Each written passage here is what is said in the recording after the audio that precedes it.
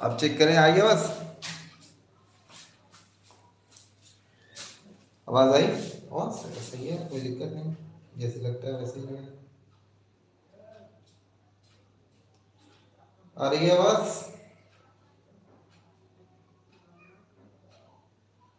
Okay. हाँ तो इसका आंसर है ऑप्शन बी, ईश्वर चंद्र विद्यासागर के प्रयास से ये मतलब विधवा पुनर्विवाह जो था हैपन हुआ था तो करेक्ट आंसर है इसका ऑप्शन बी अठारह सौ छप्पन। जी हाँ नेक्स्ट क्वेश्चन में चलते हैं हम लोग। आपको बताना पड़ेगा, सर फरोशी तमन्ना अब हमारे दिल में मतलब ये जो स्लोगन था ये किसका था? ऑप्शन ए है, Bhagat Singh. Option B Subhash Chandra Bose. Option C Mahatma Gandhi. Option D Ram Prasad Bismil.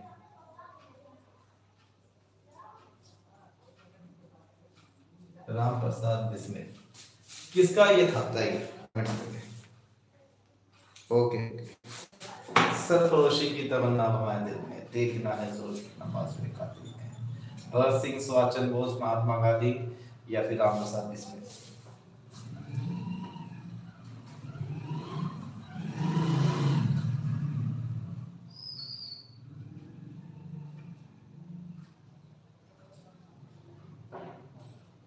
बताएँ जल्दी बताएँ, क्या है इसका करेक्ट आंसर क्या है इसका correct answer A B C D में से क्या है इसका करेक्ट आंसर जल्दी जल्दी अपने अपने आंसर बताएँ।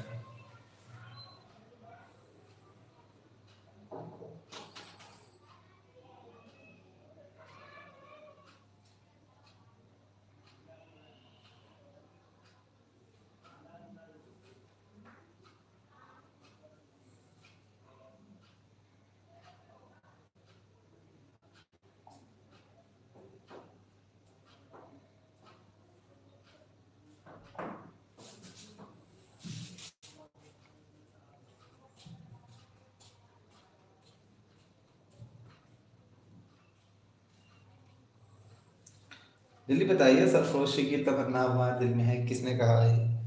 भगत सिंह ने कहा है, सुभाष चंद्र बोस ने कहा है, महात्मा गांधी जी ने कहा है, या फिर राम प्रसाद बिस्मिल ने कहा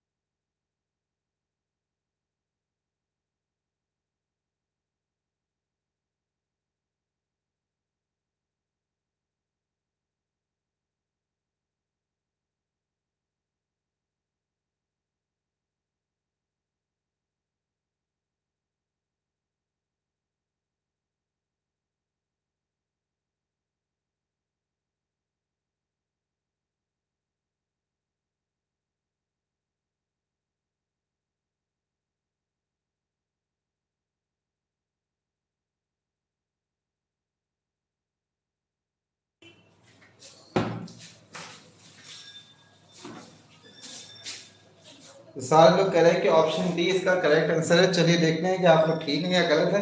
तो याद रखिएगा, भगत सिंह ने कहा था, इनकलाब जिंदाबाद। क्या कहा था?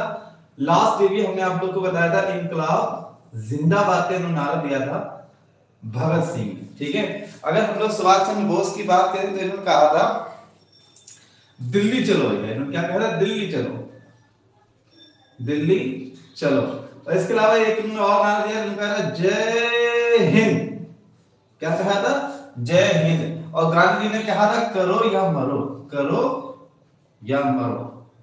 और इसके अलावा इन्होंने कहा था, हे राम। ये भी इनका एक नारा और राम प्रसाद बिस्मिल ने कहा था कि सरफरोशी की तमन्ना अब हमारे दिल में है और देखना है ज़ोर कितना बाजरे कातिल में है। तो जी हाँ ऑप्शन डी, जिन लोगों ने दिया है, फ़िलहाल तो वह है स्वैग के साथ में, ठीक? और बाकी लोग दिए ही नहीं है। सिवाय निशा के। निशा फ़िलहाल आपने गलत और जिन्होंने नहीं दिया, वो भी है गलत।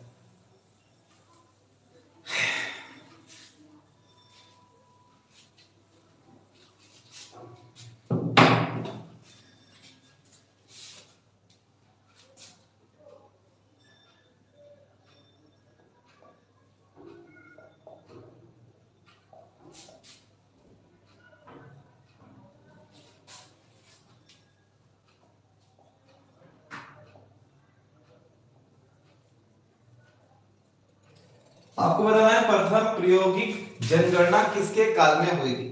And your option Lord Canning के टाइम पर हुई थी। ऑप्शन डी लॉर्ड एल्गिन के टाइम पे होगी ऑप्शन सी जॉन लॉरेंस के टाइम पर हुई थी।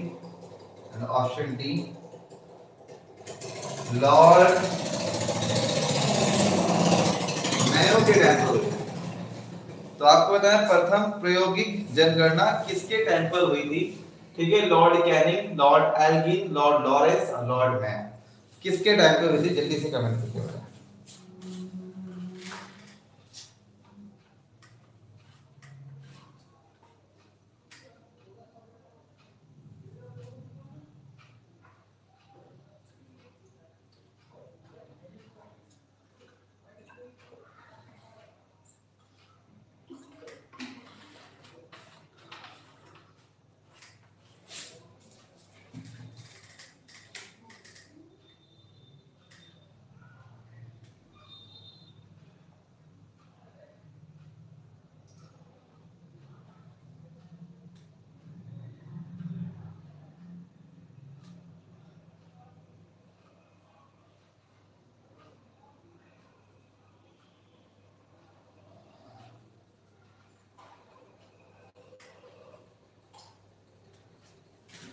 option D option D and option D.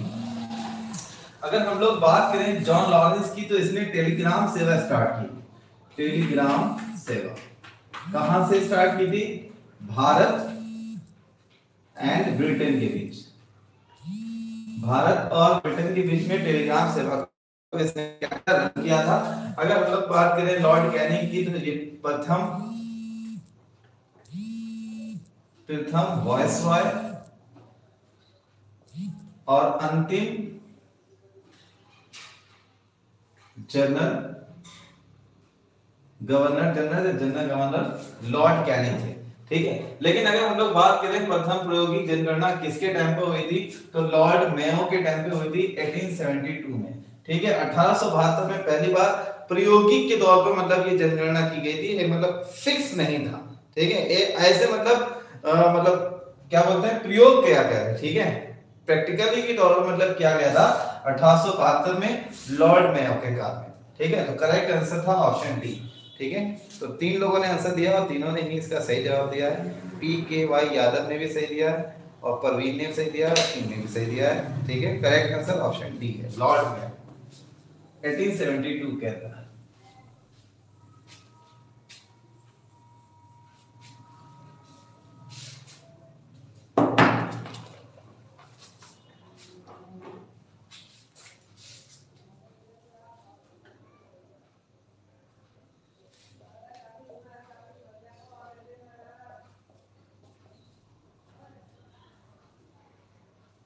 Lord Mayo की हत्या किसने की थी?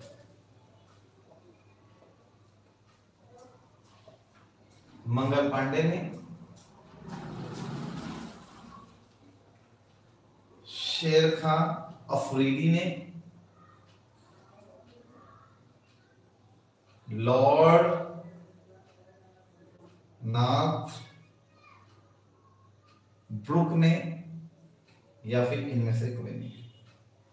कब की गई थी इसकी हत्या और किसने की थी, ये भी आपको बताना है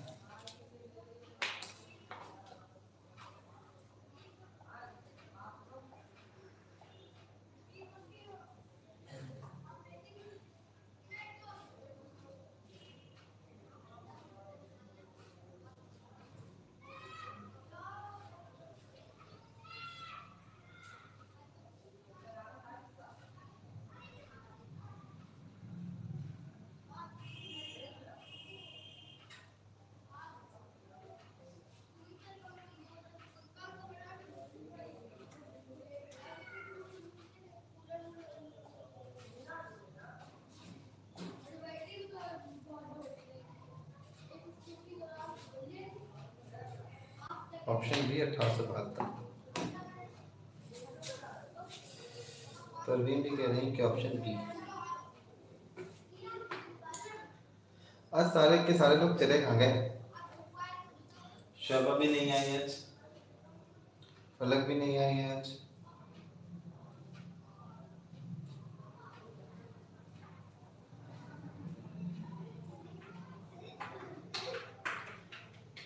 ऑप्शन बी ऑप्शन बी हाँ अगर हम लोग बात करें लॉर्ड मेयो की हत्या के बारे में। तो आप लोग बता रहे हैं कि अठारह में इनकी हत्या हुई ठीक है? बिल्कुल सही बता रहे हैं। 1872 में इनकी हत्या हुई थी। ये एक जेल का निरीक्षण कर रहे थे, ठीक है? वहीं पर एक कैदी था, जिसका नाम था शेर खां अफरीदी, ठीक है? ये अफगानी जो था मतलब कौन था? एक सिपाही था, और इसने ही इसकी क्या कर दी थी? हत्या कर दी थी। और मंगल पांडे तो कुल अठारह में ही मतलब खत्म हो चुके थे, ठीक है? तो ये तो नहीं हो सकता। अफरीदी शेर खान अफरीदी ने इनकी कर दी थी हत्या अठारह के अंदर। सर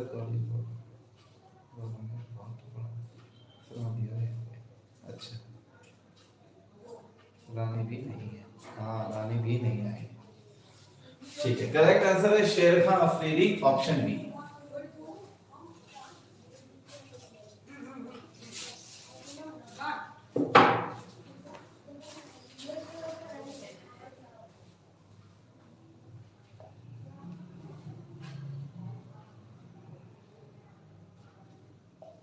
महारानी विक्टोरिया को केसर ए हिंद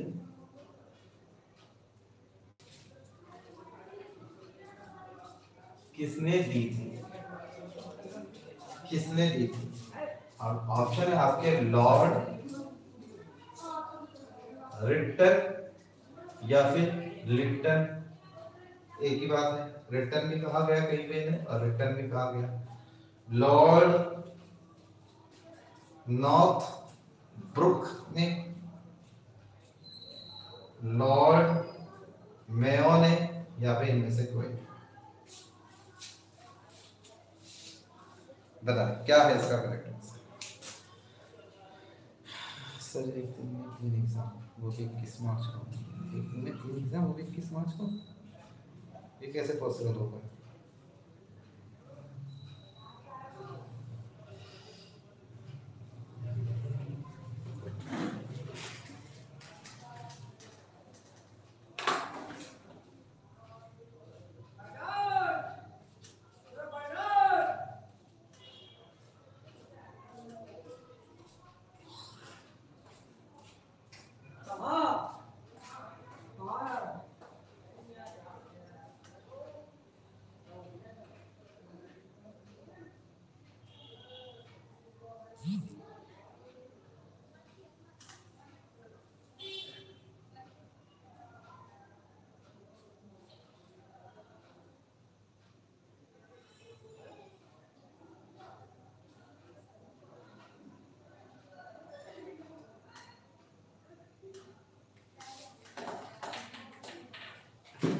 बताएँ बताएँ क्या है इसका करेक्ट आंसर महारानी विक्टोरिया को कैसे हिंद की उपाधि किसने दी थी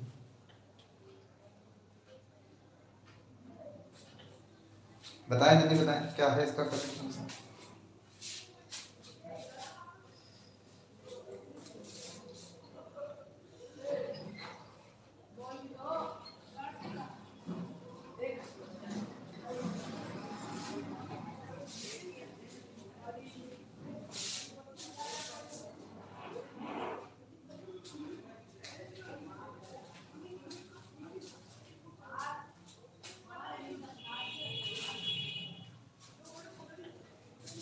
महारानी विक्टोरिया को किसने केसरे हिंद की उपाधि दी थी। आप लोग कह रहे हैं कि इनमें से कोई नहीं। तो याद रखिएगा 1877 के अंदर लॉर्ड रिटन ने दिल्ली दरबार लगाया था। क्या लगाया था? दिल्ली दरबार। दिल्ली दरबार लगाया था और उसी दरबार में महारानी विक्टोरिया को इसने केसरे हिंद की उपाधि दी थी। किसने? लॉर्ड रिटन या फिर लिटन। और इसका जो टाइम पीरियड था 1876 से 1880 तक। ठीक है? 1876 से 1880 तक था और 1877 में इसने दिल्ली दरबार लगाया था। और उसी के अंदर इसने विक्टोरिया को केसरे हिंद की उपाधि दी थी। ठीक है? ही वाज लॉर्ड रिटन या फिर लिटन ठीक है? करेक्ट आंसर इसका ऑप्शन ए है, ना कि डी ठीक है? Correct answer option A Lord Lytton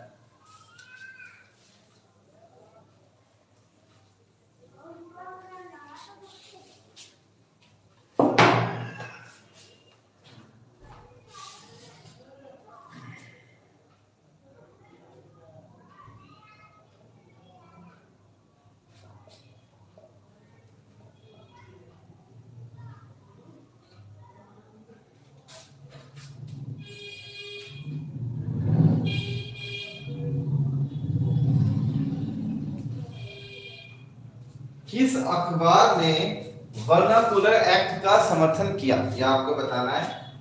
अखबार के नाम है सोम प्रकाश सोम प्रकाश ढाका प्रकाश ढाका प्रकाश भारत मंदिर। Option D. इनमें से कोई नहीं। कौन सा वो न्यूज़ पेपर था जिसने वर्नाकुलर एक्ट का समर्थन दिया था। और वर्नाकुलर एक्ट एक ऐसा एक्ट था जिसमें अखबारों का नियंत्रण लगाया गया था किसी भी तरह की खबर छापने के लिए। बताएँ आखिर क्या है इसका correct answer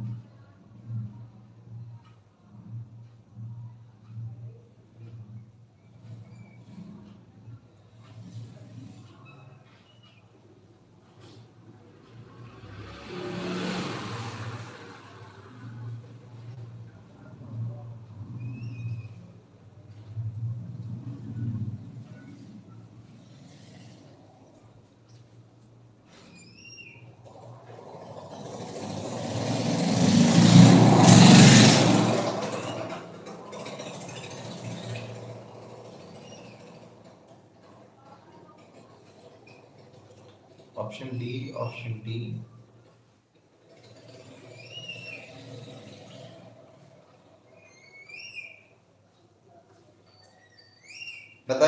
बाकी लोग भी बताए अपने अपने answer.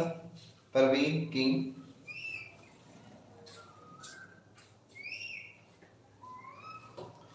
Vernacular act का किसने समर्थन दिया था?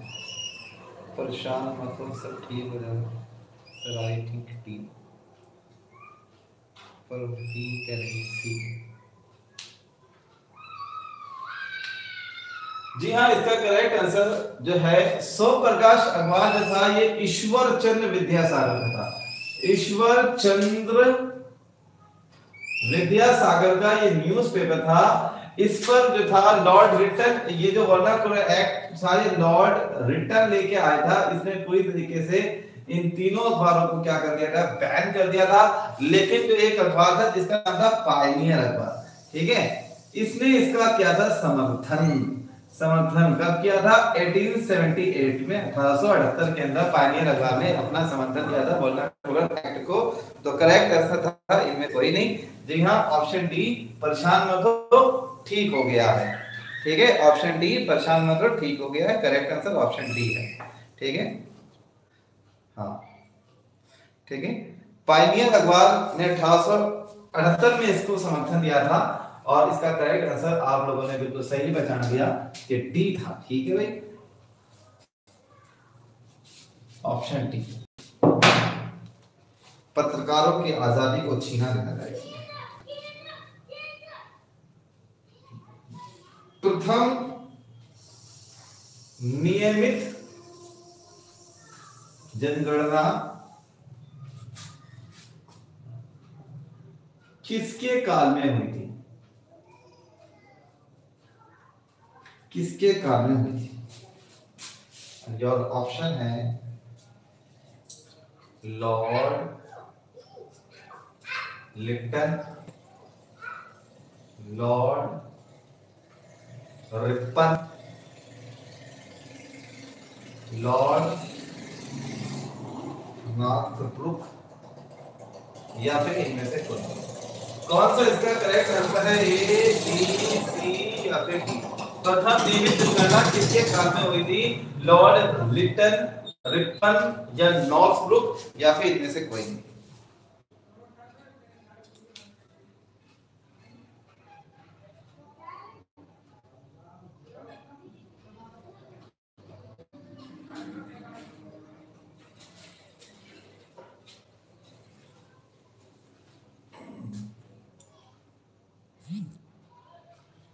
ऑप्शन डी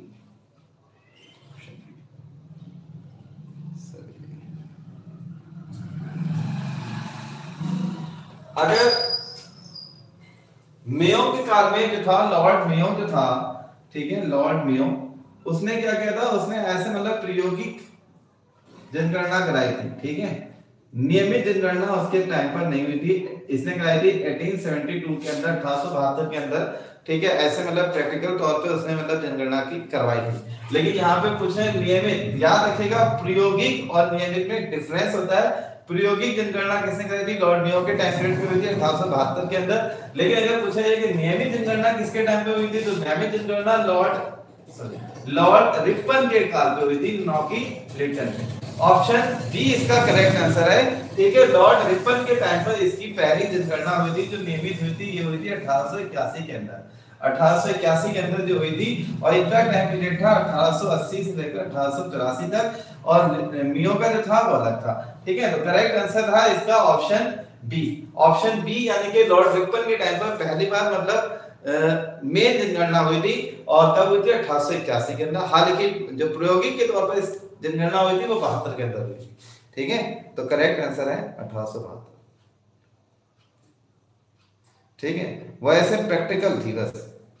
जी हाँ किंग जी लॉर्ड मेयो नहीं है इसका आंसर इसका आंसर ऑप्शन ए भी नहीं है। न डी है, बल्कि ऑप्शन बी इसका करेक्ट आंसर था। ठीक है लॉर्ड रिपन 1881 में पहली बार नियमित जनगणना हुई थी और उसके बाद से लगातार जनगणना होती गई। लेकिन अभी 2021 में होना थी वो नहीं हुई जनगणना ठीक है तो ये अभी पड़ी हुई है, छुटी हुई है।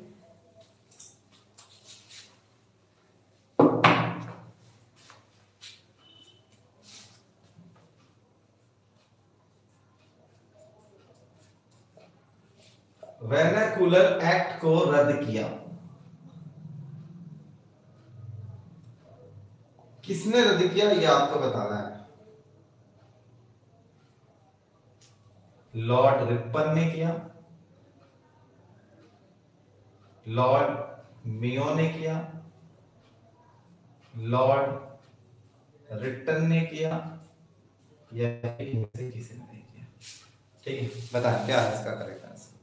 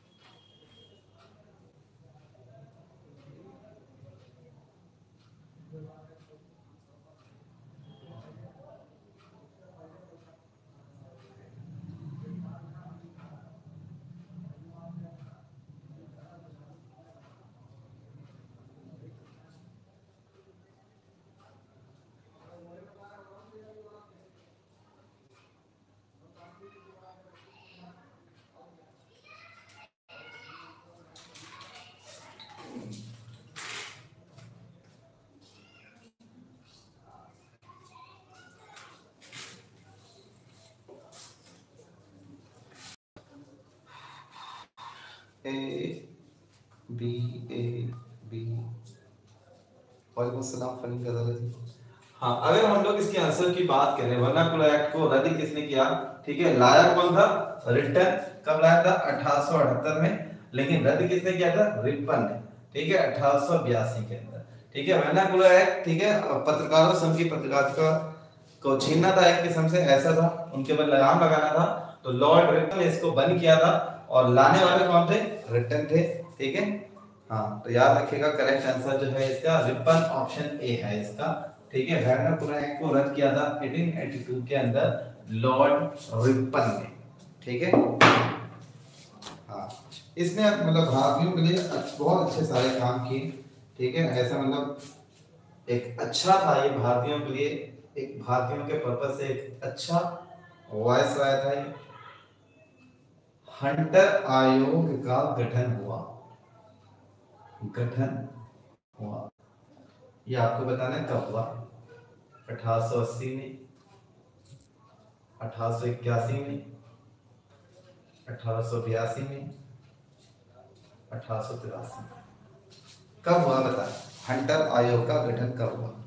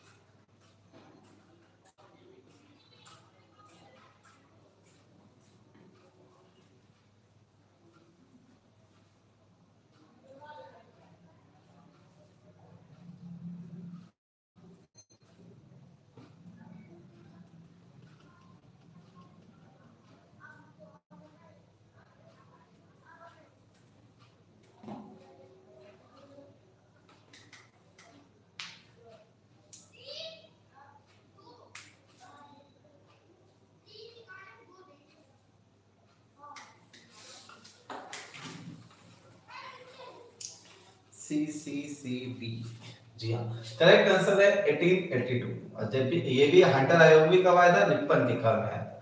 रिपन के काल में आया था और इसका, इसकी जो मतलब मान क्या थी ये शिक्षा के लिए आया था. इसमें क्या हुआ था? प्राथमिक शिक्षा पे ज़ोर दिया गया.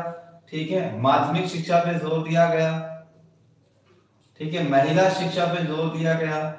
और इसके अलावा उच्च शिक्षा पर ज़ोर दिया गया। ठीक है? सबके लिए इसने मतलब कहा, और हायर एजुकेशन के लिए इसने स्कॉलरशिप यानी कि वजीफे का भी बंदोबस्त कराया था। वजीफे का भी इन्हें मतलब कराई थी, ठीक है? ऑर्गेनाइज कराया था। तो करेक्ट आंसर है 1882 में आया था हंटर आयोग इसमें क्या था? ये सिर्फ़ एजुकेशन से रिलेटेड था। तो याद रखिएगा। हाँ। एक बार और आएगा हंटर आयोग अभी ठीक है? जब हम लोग चलेंगे जलियावाला बाग हत्याकांड करने। ठीक है? लेकिन ये शिक्षा के लिए आया था, वो उसकी जाँच करने आया था।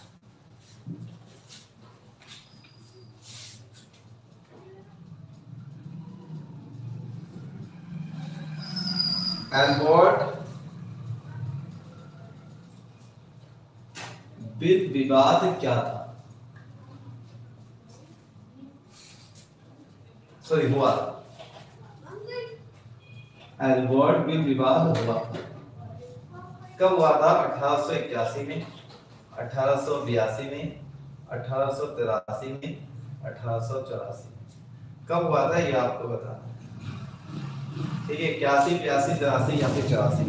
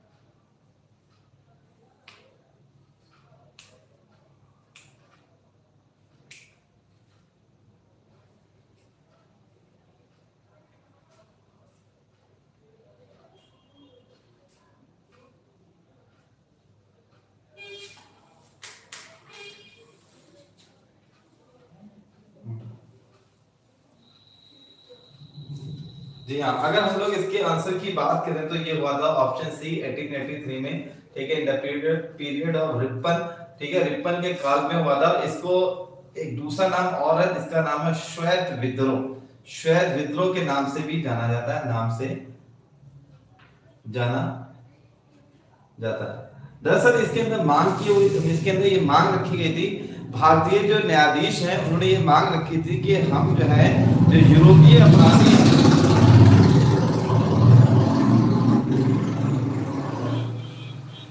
इसके अंदर मांग ये रखी गई थी जो भारतीय न्यायाधीश हैं, वो यूरोपीय अपराधियों को मतलब उनकी सुनवाई करें, ठीक है?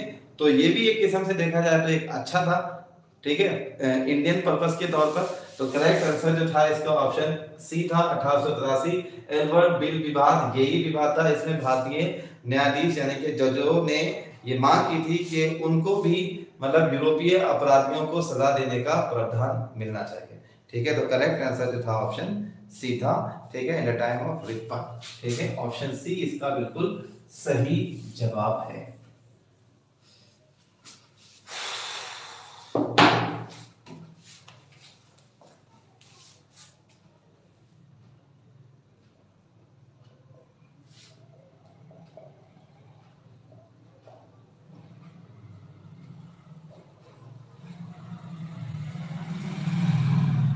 भारतीयों का उद्धारक किसे कहा गया? लॉर्ड डफरिन को लॉर्ड रिपन को लेंस डाउन को या फिर इनमें से किसी को किसको भारतीयों का उद्धारक कहा गया? ये आपको बताना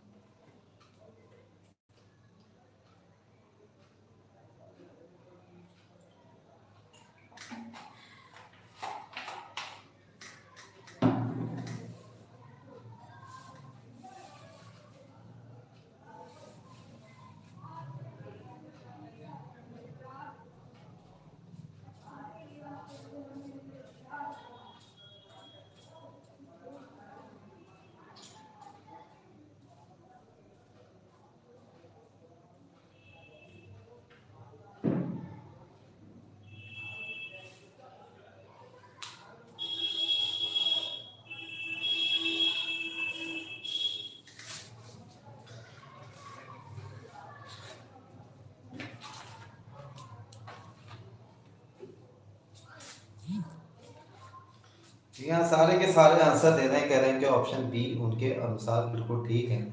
तो भारतीयों को तारक किसको कहा गया? जी हाँ बिल्कुल सही बता रहे हैं लॉर्ड रिपन ने कहा गया। अगर आप लोग ये भी मुझे कमेंट करके बता दें कि आखिर किसने इनको कहा था तो फिर तो मतलब इसका आंसर का बिल्कुल मज़ा ही आ जाए। तो जरा बताएँ, तीस सेकंड के अंदर देखें कौन बता सकता है कि आखिर किसने कहा था।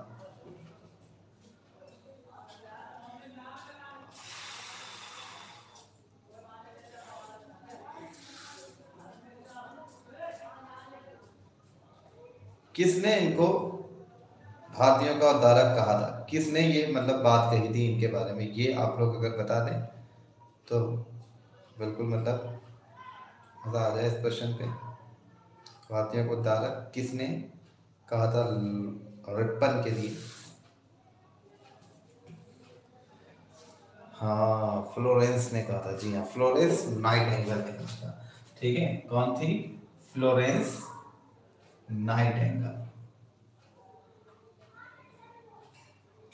इनको कहा था भारतीयों का उद्धार किसने कहा था? फ्लोरेंस नाइट एंगल ने कहा था। इन्हीं की याद में क्या होता है? फ्लोरेंस नाइट एंगल की याद में ही नर्सिंग डे मनाया जाता है। ठीक है? नर्सिंग डे इन्हीं की याद में मनाया जाता है। और इनको ही कहा जाता था अलेडी इनका एक दूसरा नाम था अलेडी विद लैंप ठीक है? ये इनका निक नेम भी था अलेडी विद लैंप ठीक है? तो इसका करेक्ट आंसर जो है लॉर्ड रिपन है। और कहा किसने था? फ्लोरेंस नाइटेंगल ने कहा था। ठीक है भाई? ऑप्शन बी जी हाँ परेशान मत हो, आपका भी आंसर ठीक हो गया। ठीक है? करेक्ट आंसर है ऑप्शन बी तो फ़िलहाल आज हम्म। फ़िलहाल आज रखते हैं हम लोग इतने ही अपने क्लास के अंदर। आज इंग्लिश नहीं पढ़ाएँगे। गांधी जी ने कहा फ्लोरेंस नाइटिंगेल गांधी जी तो उसमें थे भी नहीं यार।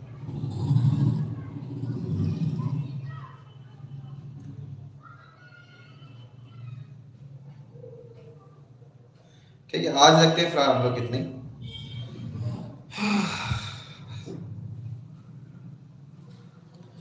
बहुत शुक्रिया, सर, बहुत शुक्रिया। ओके, बहुत शुक्रिया सबका, मिलेंगे कल शाम में साढ़े सात बजे, ठीक है?